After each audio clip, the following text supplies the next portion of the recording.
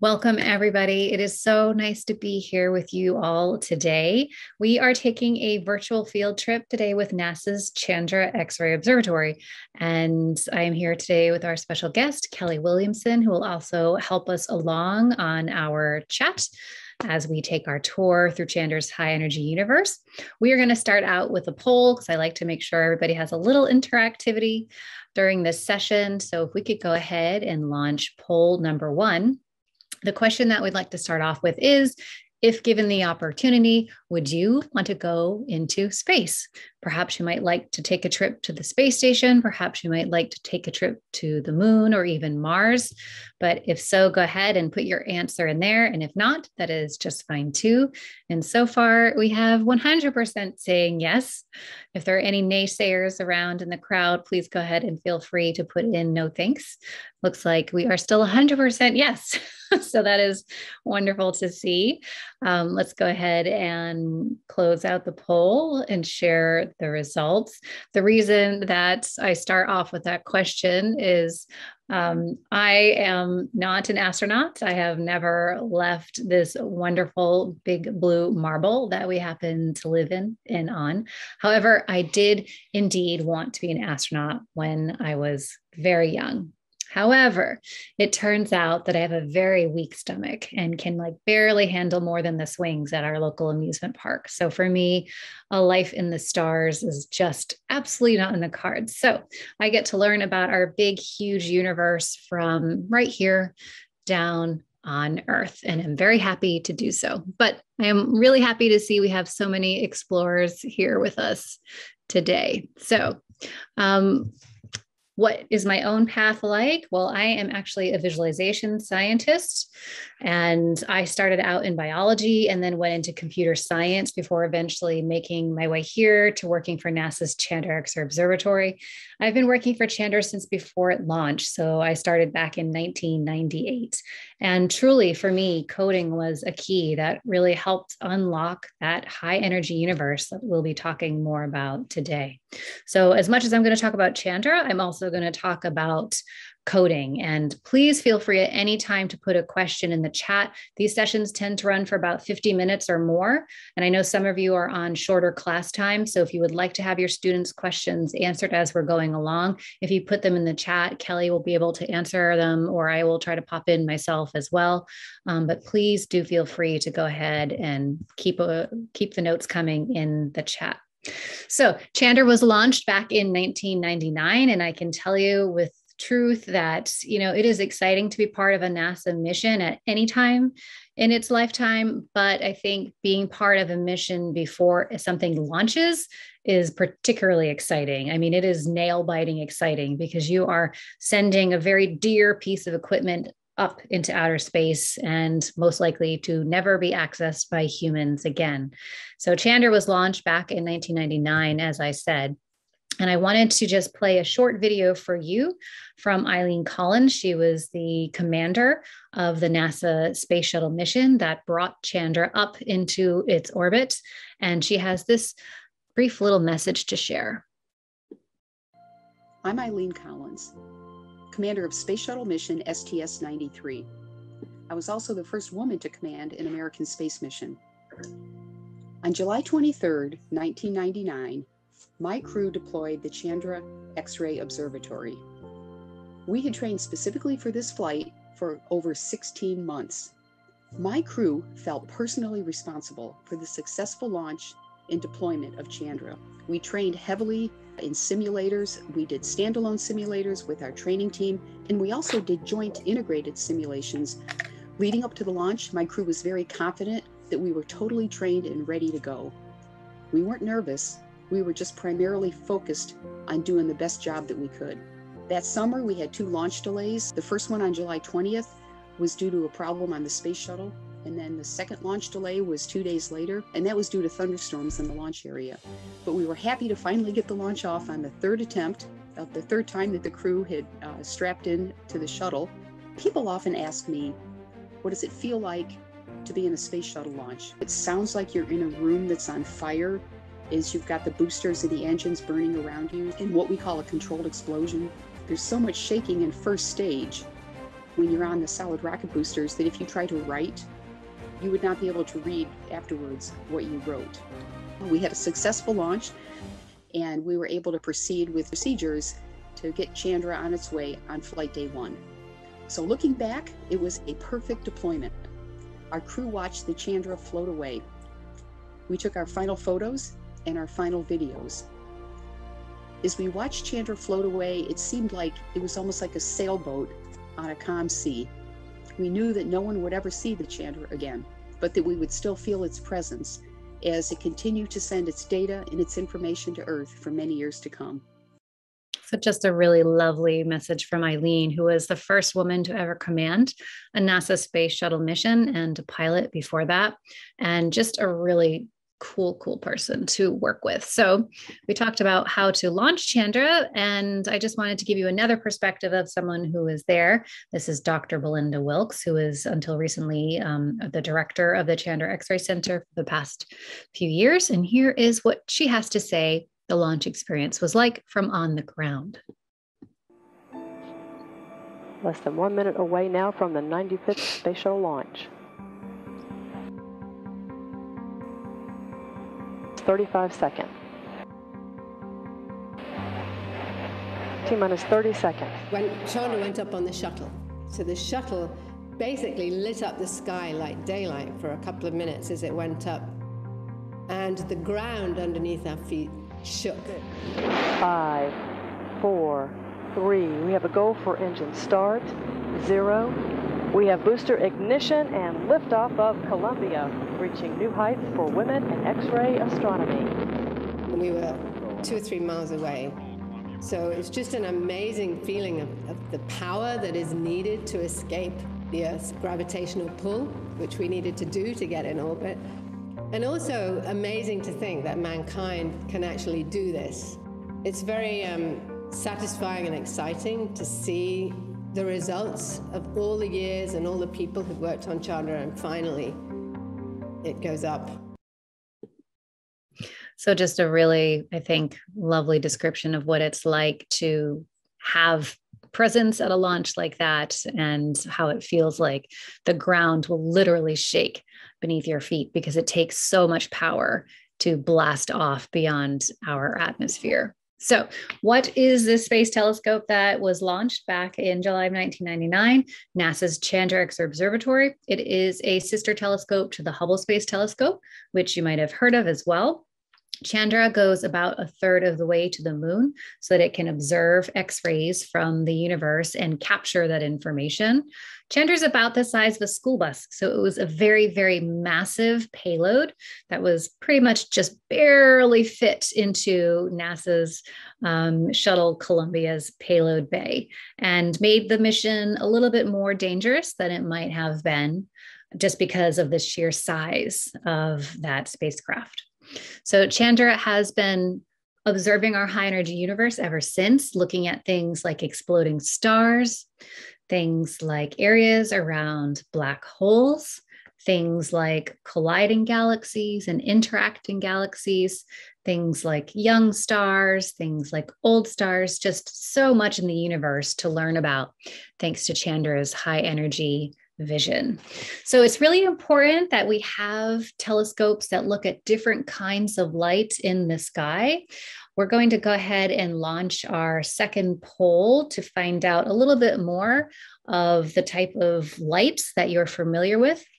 The entire electromagnetic spectrum is made up of many different kinds of light, from radio waves all the way up to gamma rays. So, our second poll for you today is which kind of light have you ever used or interacted with, or just perhaps even known of in your own life? And you can check any that apply. The options are infrared, ultraviolet, X rays, and visible light. So just a few kinds. And it looks like 100% of you are familiar with and have used visible light, but I see additional answers coming in in support of ultraviolet light, X ray light, Thank you. And also infrared light as well. So it looks like all the different kinds of light at least have some people uh, in their corners that have either used them or interacted with them or perhaps um, at least known of them. So many thanks for filling out poll number two. Um, Kelly, if you want to go ahead and share the results of the poll, and then you can close out of that whenever you feel like it's time. But so it's really useful to be able to talk about these different kinds of light that we have access to. All of these different kinds of light exist in our universe, and it's like having different kinds of tools in the astronomer's tool belt to be able to use a specific kind of telescope that can capture a different kind of light. Because X ray light is very, very different to capture than, say, radio light. For X rays, our Earth's sort of superpower, or one of Earth's superpowers, is that it has a very protective atmosphere. And that protective atmosphere around Earth protects humans and other organisms from that high energy radiation for the most part, which is great for us, right? It was a perfect type of environment for us to be able to evolve into. But being able to capture X rays of the universe means that Chandra had to wait for the space age because we had to launch above Earth's atmosphere to be able to capture all that X ray goodness that is out there in the universe. But there are many different kinds of light that we can use in our daily lives as well. So you're probably familiar with X ray light, as it seems about 88% of you were. If you've ever gone to, say, the dentist or the doctor and had X rays taken of your tooth or a bone, because X rays can penetrate through the skin and tissue down to the bone or to see inside the tooth, for example, to see if there is a cavity forming. You're probably also familiar with, say, microwave light. Uh, you might have used a microwave to disturb the water molecules in your food to heat it up very quickly. You've probably used uh, infrared light to be able to talk between devices, such as using a remote control to turn on your television. So, there are all of these different kinds of ways that we use different kinds of light in our everyday life. And astronomers do the same thing in the scientific life, if you will. So, using different kinds of light in order to discover and answer different kinds of questions. Our next slide, I just wanted to take you on a brief tour of some of my very favorite sites to see in the universe. All of these images that we'll be looking at include Chandra X-ray information, but you'll also see some with data from the Hubble Space Telescope, from the Spitzer Space Telescope, from radio telescopes as well, because again, it's like having different tools in your tool belt or different crayons in your crayon box to be able to color your universe with. So we're going to be looking at all different kinds of objects, starting with the one on the screen now, which is the Eagle Nebula, and essentially is this beautiful stellar nursery where baby stars are forming in front of inside those tall columns of gas and dust. And young stars are a great place to be able to capture X-rays because there's all of that tumultuous energy coming off of them. Things like clusters of stars, because stars are kind of like teenagers and they like to hang out together when they're young and sometimes when they're older as well. Mature stars, for example, that might explode, perhaps sometimes in our lifetime or perhaps not for another 500 years or so. This system, known as Eta Carina, is a double star system. And if it does explode sometime in our lifetime, fear not, we are at a perfectly safe distance from it. Other types of stars that are in the process of dying, these are called planetary nebulas and are sort of like a glimpse of what our sun could look like in, say, four or more billion years. That's billion with a B. So we have lots and lots of time with our sun as it is. But stars like our sun that are kind of medium sized puff off their outer layers as their fuel starts to run out. And they create these beautiful structures that are called planetary nebulas for no good reason as being anything connected to planets, but just because long time ago when they were first discovered, people thought they were planets. So planetary nebulas are some really incredible structures to look at, but also kind of give you a glimpse of what our own star could be doing sometime in the future. I also really love to look at exploding stars, supernova remnants. They are one of my favorite types of objects in the universe, and they are simply spectacular to be able to look at, but are also chock full of sciencey goodness so that we can learn about how stars change and evolve. And supernovas are my favorite, as I mentioned. So we've got a few of those to look at. Chandra also gets to look at things like the areas around black holes. This, for example, is what the very central core of our own Milky Way galaxy looks like. And in the lower right side of the screen, there's a bright white area, and that is where Sagittarius A star, our very own supermassive black hole, is sort of cloaked in all of that bright X ray light. Chandra gets to look at many other kinds of galaxies as well beyond our own galaxy, such as galaxies like this one, which is M106, beautiful spiral structure and very interesting anomalous kinds of arms galaxies that are interacting and creating very interesting shapes for us to look at, like exclamation marks and cartwheels and whirlpools, things that have massive, super massive uh, black holes with these really incredible jets streaming out of them from the centers of galaxies and clusters of galaxies. Clusters of galaxies are the largest gravitational bound objects in our universe and essentially consist of about tens or hundreds or even thousands of galaxies all enveloped in this cushion of really high energy gas clouds. And of course, some of those might even look like they're smiling back at us here on Earth, thanks to gravitational lensing. So, our universe is truly incredible. And Chandra has been an absolute workhorse in the time that it's been launched for over 20 years now. It's traveled over 3 billion kilometers. It's taken over 3,000 trips around our planet. It's collected 25 trillion bytes of data. And humans on Earth have uploaded and written about 4 million lines of code in order to either operate Chandra, collect Chandra's data, or analyze the data here on Earth. So I'd like to just take a moment to listen to Sabina Hurley. She is another awesome colleague. She is our flight operations team manager. And here's what she has to say about how hard it was just to even make Chandra. Here we go. They knew the science that they wanted to do. The technology to do it didn't actually exist. Countless engineers had to solve a whole host of problems to get Chandra on orbit. The mirrors on Chandra, those mirrors had to be smooth to the level of a couple of atoms. You're skipping photons, so they need to be atomically smooth. And they have to be really delicately aligned because you need all eight mirrors to be working together, right? And they are now focusing on an instrument, and the instrument chips are only four inches square. And you have to hit that four inch square every single time. And that's not actually good enough. That would just give you a blob. So to get the imaging you want, the resolution you want, you have to hit exactly the same spot on that four inch square every time. And the spot you have to hit is less than the diameter of a human hair, 10 meters away. Then you have to do this on Earth, but it's going to operate in zero G. So you need to figure out how can I align these so that they'll be aligned on Earth for testing but then when it's up in space, it has to stay aligned. You can't go up and fix it. So, how do I build all the structure around it so that they stay aligned so precisely through all of that? So, once you've done that, you have to make sure that you're controlling the temperature of those mirrors to within fractions of a degree. But you're in space, it's a harsh environment.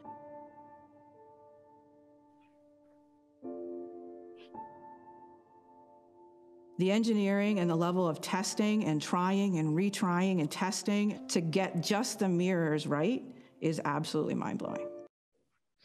I think Sabina has such a nice way with words there. So, Chandra is truly an mm-hmm. exquisite piece of equipment. And because it goes a third of the way to the moon, it had to operate perfectly right from out of the gate. So, how do we capture information of that high energy universe, those X ray photons, those packets of X ray light that are traveling for thousands, millions, or billions of light years. Well, we have that object in the universe that we're interested in studying, and Chandra is slowly turned towards it. It's called slewing, and it moves about as slowly as the second hand on a clock. That object is then in Chandra's field of view and it captures that information, those photons that I mentioned, and then it's recorded at the base of the telescope. The scientific instruments are located down there. And then finally, it's packaged up into a suitcase of binary code, ones and zeros, as that's like the way that Chandra gets to talk to um, the other pieces of equipment. And so then it's sent down through NASA's Deep Space Network, which is a series of three radio dishes positioned around the world. There's one in Australia, one in Madrid Madrid and one in California. And Chandra gets to talk to those dishes about every eight hours. That suitcase of information, that suitcase of binary code, eventually then makes its way through to NASA's Jet Propulsion Laboratory in California before eventually finally making its way to one of our laptops here in New England. And then from there, we get to do some cool stuff with the data. So at this point, I'm going to take you on a brief virtual tour of the control center. Uh, the control center is where that data all lands after it comes through the Jet Propulsion Laboratory. Uh, behind me, actually, is a little screen capture of what the control center looks like. I am not there today, but we'll be all taking a brief virtual tour. Kelly, could you confirm that you can see the operations control center and that you see us moving through the OCC? Yes. Wonderful. Okay, so right here is the view of the control center right as you step off of the elevators, essentially. There's this beautiful room that you sort of walk into with space for meeting and relaxing. Up ahead is the main conference room. Whenever there's something exciting going on or big meetings have to occur, that's where they are. Behind you, there is this kind of faded looking poster on the wall. That is actually a cloth banner that we designed to be launched with the astronauts back in 1999. And they took it up with them in space and they got to sort of take their um, communications calls in front of it, took some pictures in front of it, and then very kindly brought it back down to us uh, here on Earth, where we got to display it on the wall. And you can see in the corner, there is a small version of the Chandra spacecraft, and that's at about 10% size because Chandra is about the size of a school bus. And there are some really lovely Chandra images on the wall. If at any point you want to learn a little bit more about the control center, the URL for this virtual tour is in the chat, and you can go ahead and open it up at any point for yourself and also read any of the little cue cards that we have positioned throughout. Now, as we turn back down towards the elevators, we're going to go down this first corridor down the corridor, there's actually a mini exhibit, if you will, of the history behind Chandra. Chandra started as an idea in the late 60s and then was essentially uh, funded and then built and then finally tested and launched throughout the 80s into the 90s, as I said, launching in 1999. So there's quite a bit of its history over there on the wall. We are going to go into the main control room, however, which is usually everybody's favorite room to visit. Again, that's what's pictured behind me on my Zoom background. And you can see here is the main control center. And I will say during the pandemic, things definitely had to change for the control center as we had to greatly restrict who could come in. This is already a restricted space, but they took a lot of health and safety protocols to make sure all the people that needed to be where they were supposed to be in order to take care of the Chandra spacecraft were able to do so in a safe and healthy way. And there was no disturbance of operations of any kind during the pandemic. Someone always has to be there to take care of Chandra, and someone always was. So Chandra operations continued on beautifully. One of the first desks that you see over here on the right is the lead spacecraft engineers console. That is the desk where the lead spacecraft uh, engineer gets to sit, and that person is essentially responsible for coordinating all the routine and non um, spacecraft activities. Over here on the left is the um, command controllers console, and that person is making sure that all the commands that are going to the Chandra spacecraft, they're coming from that desk and they're all thoroughly checked and ready to go. In front of that, there are two additional rows of consoles. The second row is for the spacecraft subsystem engineers. So that's um, essentially the Chandra spacecraft is split up into various subsystems or functions or different areas of responsibility that people have. And each engineer in this row has one particular part of the spacecraft to take care of. And then finally, in this front row of consoles, that is where the science instruments teams are, both the ACIS and the HRC teams are located in those rows, and they get to be only responsible for those very important science instruments. Then up here in the front row, you'll see quite a few different kinds of screens to be able to look at. On the left is a location of Chandra's orbit.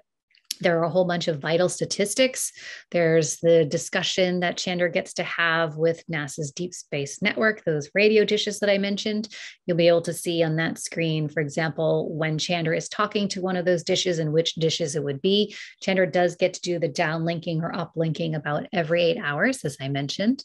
And then there's also the additional information of where Chandra is in its orbit, um, what its telemetry is, what the temperature is. Essentially, this is our way of taking Chandra to the doctor, right? We can't ever physically access Chandra, but we can take its vital signs, we can take its blood pressure, if you will, uh, we can take its temperature, we can display all that information on the screen. And then if something needs to be addressed, if something needs to be fixed, or if we just need to tell Chandra what to do for the day, we upload all of those lines of code. Those lines of code are then received by the spacecraft and then send it on its merry way in order to do its job. So when you're looking at the screen, you're getting all of that really vital information. And you'll see up on that top area, there are all those different green blocks on that that main screen, that is telling us that Chandra is in good health.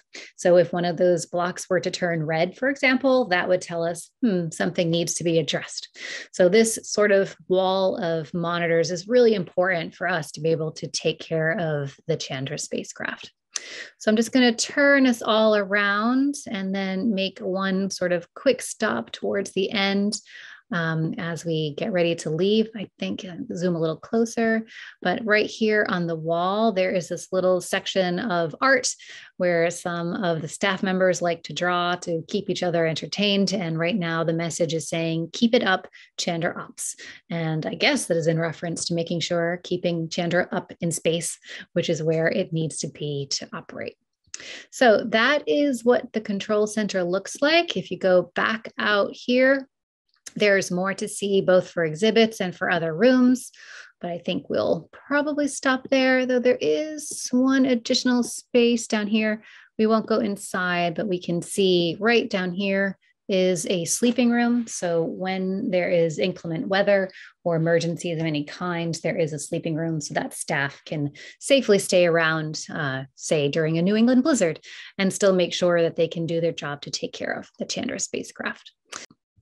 We're going to do another brief tour, this time of the Chandra spacecraft. And this time we are going to launch um, with the help of my friend and colleague, April Jubett. And she is going to teach us about the various parts on Chandra. Hopefully, you can hear this as I play it. Welcome to NASA's Chandra X ray Observatory. Click anywhere on the screen to orbit the spacecraft and see it from all angles. Clicking will move you along to another stop on the tour.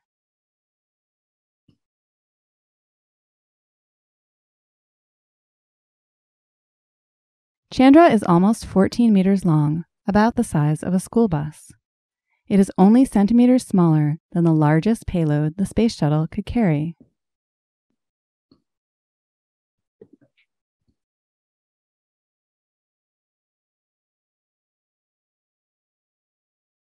X-rays are too energetic to bounce off traditional mirrors like we use to see our reflection.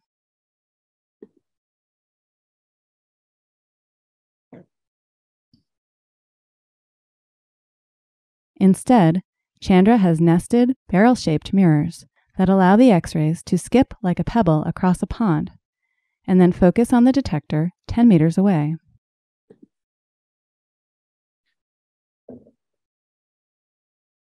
Chandra uses cameras and spectrometers at its target to analyze the X rays coming from deep space.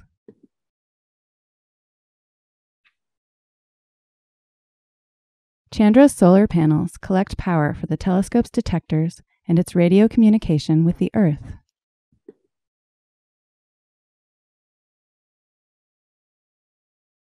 The electricity is also used to heat the mirrors to keep them from deforming in the cold temperatures of space.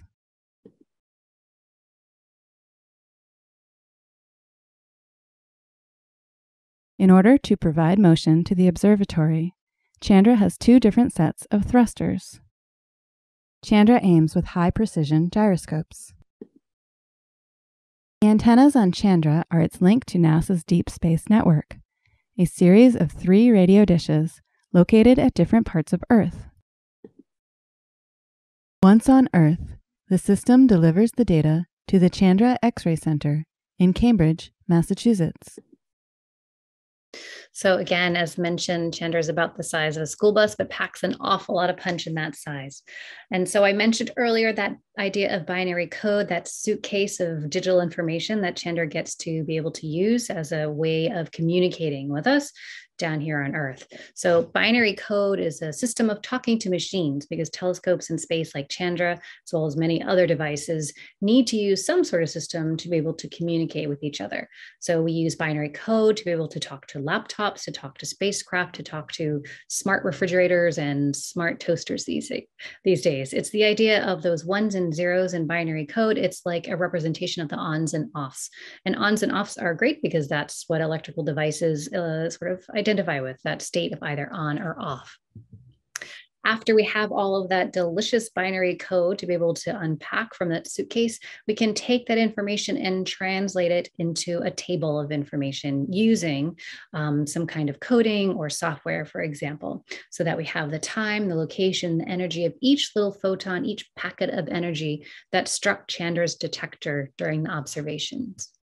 Once we then have that table, we can use more software or more coding to be able to translate that information into, for example, an image, the representation of what that object looks like in space in X ray light. And then we use more software and more coding to be able to fine tune that data to be able to represent that scientific story that we're trying to tell.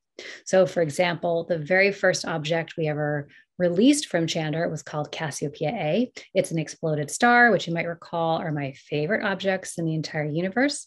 It's when a star, many times the size of our sun, much more massive, at least eight, nine or so times more massive than our sun, starts to get old. It runs out of fuel, and then its core collapses and it explodes its guts out all over the universe. So, what we're seeing here is a very early glimpse of what the Cassiopeia A supernova remnant looked like. It's about 10,000 thousand light years away from us, where a light year is the distance that light travels in a year, or about 10 trillion kilometers.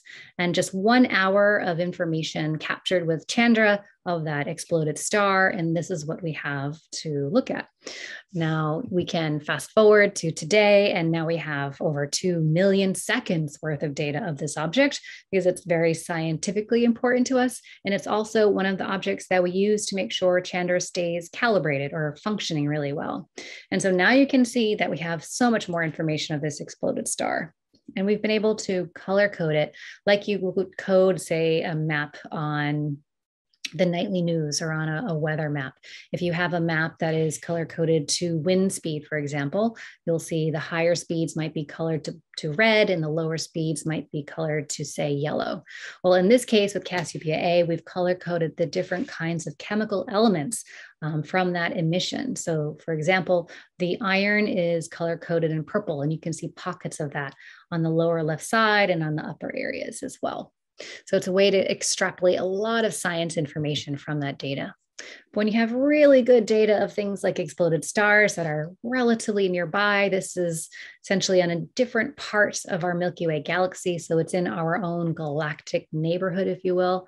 We can take that data and we can figure out which of the information is moving away from us and which of that information is moving towards us by using something called the Doppler effect. And we can create a 3D model that represents how that information is distributed. And that's what we see on the screen here, a really cool 3D model. The very first one we were ever, ever able to do using data or observational information of this exploded star Cassiopeia. Once we have a 3D model, we can use more coding, more software to be able to 3D print it. We can use yet more coding to be able to bring it into virtual reality. This is one of my students, and she's getting to walk around inside that star that exploded, Cassiopeia A, our good friend, that's 10,000 light years away, 10,000 times 10 trillion kilometers. And she's walking around inside it virtually. We can also take that information and translate it into sound. So this is not capturing what it sounds like in space. This is taking the data that we've already gotten and instead of using it to create just an image, we can use it instead to create a soundscape so that we can learn more about this remnant and we can also communicate it with others, perhaps those who are either blind or low vision, in another way.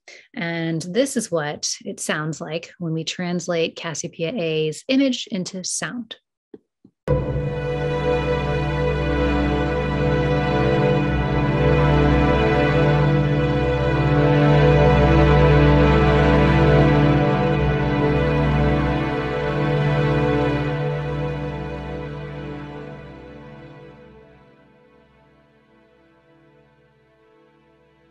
Now, I'm pretty biased, but I think it makes a pretty beautiful sound. And it really sort of helps also demonstrate the idea that this exploded star, this remnant, is still expanding into space. And again, as I mentioned, is made up of all those different kinds of chemical elements. So let's listen to Dr. Belinda Wilkes one more time as she talks about why it's important to do these things. We are on this tiny little planet next to a very ordinary star that's in the middle of its life in a fairly normal spiral galaxy in some corner of the universe. And the universe is huge, and there are billions and billions of stars and billions and billions of galaxies and supermassive black holes. And yet we are sitting on this Earth, and we're able to understand at least some of what we're seeing by just looking. I really enjoy how she phrases that because it's true. We're learning about um, a part of the universe, this X ray light that no human can ever see naturally or directly. X ray light is invisible to human eyes, but we can learn about it by taking that Chandra telescope and pointing it at different regions in space and looking out at that different kind of light and then sending it back to Earth with all of its sciencey goodness so that we can extrapolate and analyze and learn about it here on earth. So, what do we use in order to make all of that happen? Well, we use quite a few different kinds of computer languages for Chandra. Chandra, as I mentioned, was built um, over the course of about two decades. So that means we definitely have a hodgepodge of different kinds of computer languages that we use in order to operate Chandra and that we use in order to be able to do that analysis of the information. So everything from Fortran and Perl to Python and MATLAB to Java and Visual Basic. We use modern languages like C Sharp and Unity scripting to be able to take that information and translate it into virtual reality. We use JavaScript and other scripting languages to do a host of things, but these different computer languages all serve a real purpose for Chandra's mission. So we are going to take our final poll of today if Kelly wants to go ahead and launch poll number three. But the question is Have you ever tried coding? And your answers are pretty simple indeed, yes, or perhaps not yet. It looks like so far we have 100% saying indeed, yes. And yep, that percentage is staying at 100%, which is lovely to see. I learned how to code just starting with HTML. That was my very first language. And I think some people don't even consider it a language, but I do because I was really excited to be able to learn something and apply it with my own two hands to make my very first web page, which was ugly and hideous, but I loved it regardless.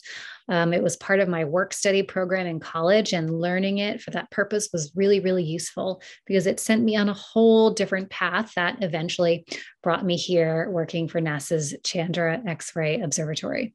So it looks like everybody said indeed yes, which is fantastic. I hope you all keep learning new computer languages. For me, it's like learning a new language, how to speak, whether that's French or Mandarin or anything else.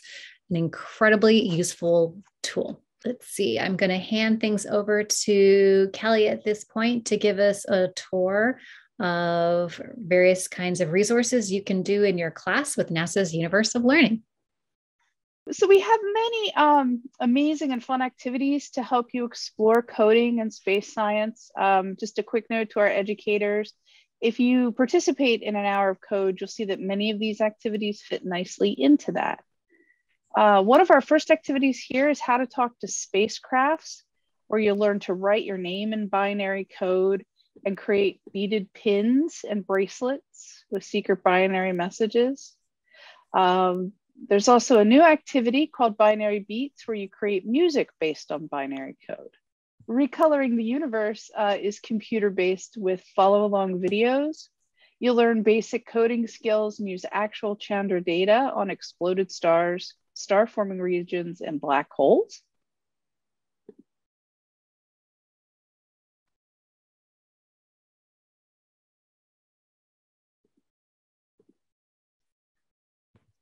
Tinkercad um, is probably something a lot of you have used. This activity takes uh, you through a series of the basics of 3D modeling and astronomy. You can start with some basic shapes, create an Earth moon system, and work your way up to using actual NASA data to create exploded stars. you have access to a 3D printer, our 3D Printing the X-Ray Universe module is for you. Here you'll be able to download files and print models of supernovas, pulsars, and even a model of the Chandra spacecraft itself. Each section has images, movies about each object, and then toward the end, you'll see an example of the model and the files you'll need.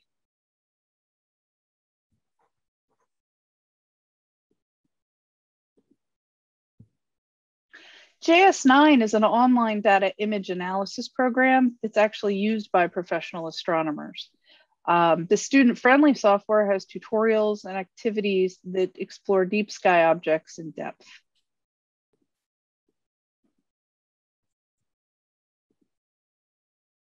We also have a new uh, free augmented reality app called Reach Across the Stars where you can explore the universe and unlock the often overlooked stories of women in space science. They're featured short stories that are about one to two minutes and even longer journeys. And in these journeys, you can ask questions, listen to interviews, and explore 360 degree virtual reality content. For instance, you can get a behind the scenes look at the Mars 2020 rover with Christine Hernandez, an instrument engineer at NASA's JPL. Being an engineer to me was a game changer. It gives me a platform to speak about things that I'm passionate about, such as science, but it also taught me how to be self sufficient, how to think about complex problems and find simple solutions, and how to use my ability as a collaborator, as a leader, as a team player to help us answer some of scientists' most difficult questions. So I know that's a lot of info, but I'll put the links uh, into the chat box and you can explore them later at your own leisure. Thanks, Kelly. That was great to see. I think it's really cool to have opportunities to work with the data that I get to work with every day, but to be able to bring it to your classrooms, to your clubs, and whatever. I want to just start to end the presentation at this point. We're going to have a brief note from Dr. Daniel Castro, another colleague that we work with, who's going to talk about how much Chandra has really learned about our universe. And then we'll have some final words before we go to questions and answers. So here is Daniel. We didn't know that stars could emit X-rays, for example, and the way they do it. We didn't understand how stars blew up. We didn't understand black holes in nowhere close to as much detail as we do now. We don't understand the clusters of galaxies that make up the, you know, the web of space-time in the detail that we understand it now. Chandra represents huge step forward in astronomy in general. So, as Daniel mentioned, Chandra has really learned an awful lot about the universe. But as is the case with anything in astronomy, pretty much anytime you answer one question, you get about 10 new questions in its place to have to research. So, it is a field that keeps people on their toes to be sure. So, I hope you have enjoyed taking this virtual tour with us through the Operations Control Center and through the Chandra Telescope. There's an additional tour that takes you through the 3D model of Cassiopeia A that I presented as well, our very good friend, that exploded star. Feel free to do those at your leisure. And I hope you have enjoyed time traveling with us today because all of these images of the universe, all of this data that we've been collecting, it's like being able only to look at baby pictures in your your graduating senior's yearbook. All of that information has traveled a long way to reach us, which means we're only looking at things as they were and never really as they are. So if you have enjoyed time traveling from the comfort of your own desks and chairs at school or wherever you happen to be today, I hope you'll let us know. We will be sending out an email that has a recording link from today and that also has a feedback form. It is very, very much appreciated if you will fill out that feedback form because if we're doing a good job with this type of presentation or if we're not, we would like to know. And that kind of support does indeed help us keep doing these types of projects. So it's always better to know how we're doing than not. So please do take some time to fill that out. And yes, with that, I would just like to say again, thanks for journeying with us. Coding has been a really important part of my career. It's a fantastic way to learn to speak these other languages. And I hope you have enjoyed this presentation. All of the URLs, as Kelly mentioned, should be in the chat and they're here on the screen as well. We hope you take advantage of these um, different kinds of activities that we've got. And let's go ahead and see if there are any questions left over in the chat to answer. Um, Um, let's see, is it fun working there? Yes, I would say it is fun working there. And, you know, I've worked here for 23 years. And I think if I can say it's fun after 23 years, then it's perhaps a pretty cool place to be able to work for me, what I enjoy most about working here is not only the people that I get to work with, but also this idea that we get to learn something new, like literally every day we are learning something new. And I definitely enjoy that. I'm constantly having to learn new techniques, um, new different languages to code in, all of these different things because technology keeps advancing, the science gets more exciting, and yeah, it really keeps us on our toes. So I do indeed like being able to work here. And Kelly, I don't want to answer for you. Do you like working here? No pressure. I, I absolutely love working for Chandra. Um, before working with Chandra, I worked with Hubble, and so space has been a big part of my life uh, since I was young. Uh, looks that like we fabulous. have a question from someone else. Kim, a student uh-huh. would like to know how does Chandra avoid black holes? Oh, that's a great question. So, black holes are probably my second favorite thing in the universe outside of exploding stars, which are number one near and dear to my heart. Black holes, I think, have this reputation for kind of zooming around our universe like cosmic Roombas, you know, these little vacuum cleaners. Um, but to be honest, black holes, for the most part, do a good job of kind of staying where they belong. So for us here on Earth and in our solar system, Chandra only goes a third of the way to the moon. So it's actually staying pretty close to home.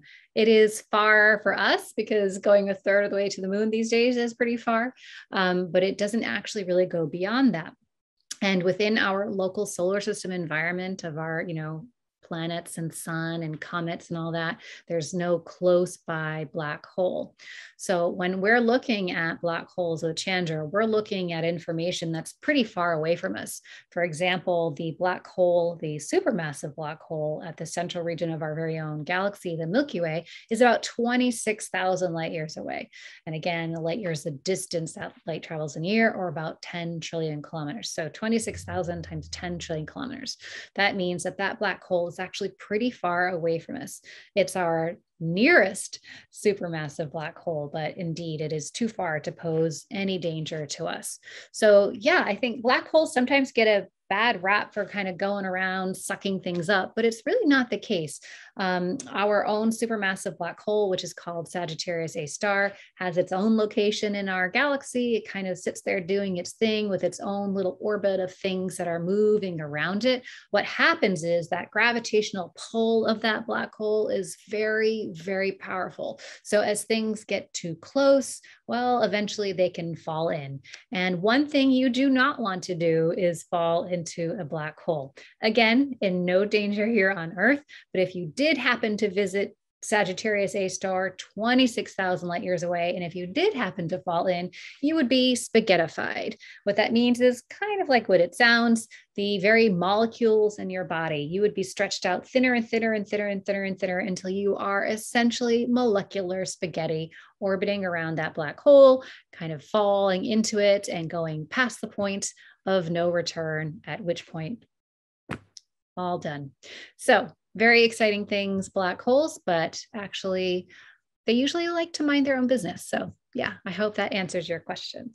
And um, Kelly, any other last questions before we wind We've down for today? One more question. Um, what happens when two galaxies crash together?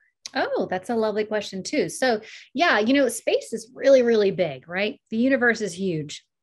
And there's a lot of empty space in space. There's a lot of space in space.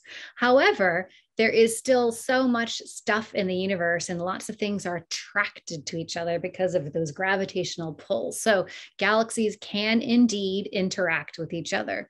So, sometimes galaxies can be kind of nearby, have like close neighbors, and then the gravitational pull of one might be stronger than the other because it's more massive, perhaps. And as those two galaxies kind of start dancing closer and closer together, eventually they can merge. And what happens is this occurs over a very long period of time. But as those galaxies merge, the supermassive black holes at their cores eventually, we believe, merge as well to create a larger supermassive black hole. But I think what is also interesting about that is if Earth, for example, was to, well, I should say, if Earth, for example, was to be looking out on the night sky and over the course of the next, say, four or five billion years, if our entire galaxy were to, say, collide with another galaxy like the Andromeda galaxy, that merging would take place in a very slow way. And to be honest, not that much would probably change for us here on Earth if we were still here, which is likely we wouldn't be because four or five billion years is a very long time. However, it takes that a long time and all of that space kind of combines and merges. And there's so much space in space likely our own little corner of the galaxy might be okay. And maybe our night view of the sky would be changing, but not all that might else could change. So, anyways, um, it sounds like quite a few people are signing off. Thank you very much for attending. You are very, very welcome that the students enjoyed it. I'm really happy to hear that. And again, please do go ahead and fill out the response so we know what works and what doesn't in these events. And that is all I have. Kelly, anything else from you before we sign off today? That's it. Wonderful. All right. I'm going to go ahead and stop sharing my screen and say a goodbye to everyone. Thanks again.